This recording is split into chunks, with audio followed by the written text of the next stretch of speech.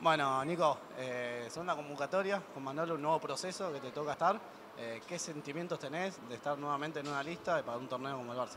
No, la verdad que muy contento, se me viene dando todo muy de golpe.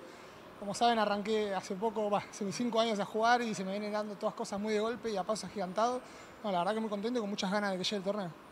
Eh, ¿Cómo sentís estos entrenamientos? También estuviste en la lista del torneo en Brasil, eh, la intensidad que le mete Manolo, que lo pudimos ver. ¿Cómo te sentís vos personalmente teniendo a Manolo como técnico? No, la verdad que es muy importante la intensidad que tiene que meter, lo que le dedica en cada entrenamiento, también en su casa, el tema de videos y todo eso. Muy importante a la hora de que somos un equipo todo nuevo, mucha gente, muchas caras nuevas y hay que entrenar demasiado para conocernos bien. Eh, para vos, ¿qué significa Malono como eminencia del handball?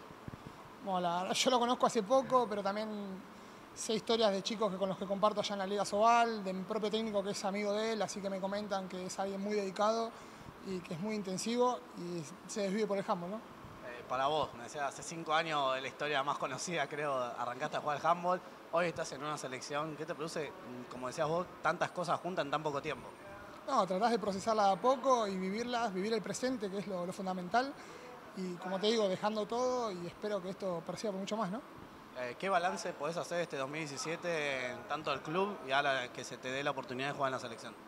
Un balance muy bueno, me fui ganando minutos tanto en Huesca, la verdad que hoy en día soy uno de los defensores centrales como titular, de a poco me voy metiendo en el ataque, es algo que cuesta, pero bueno, con ganas siguiendo seguir trabajando y bueno, el tema de la selección también, trabajar duro y hacerme un lugarcito.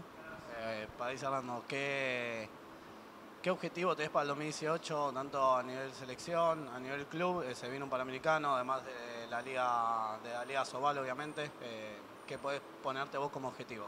Bueno, tanto en la Liga Sobal, el hecho de meterse en Europa, estamos sextos a dos puntos del segundo y tenemos, estamos haciendo una buena temporada, así que esperamos meternos en Europa dentro de los cinco y en cuanto a la selección, dar todo ahora en el Bárcenas y hacerme un lugar para el Panamericano. Último, eh, llegaste hace poco Argentina, eh, te vas dentro de poco otra vez a viajar a España.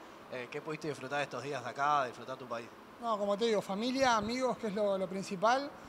Y nada más el calorcito, que allá es un frío.